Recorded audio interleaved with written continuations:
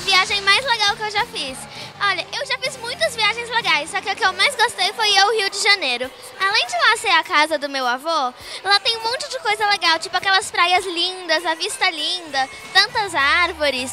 E também tem os museus. O que, o que eu mais gosto é o, é o Museu do Forte.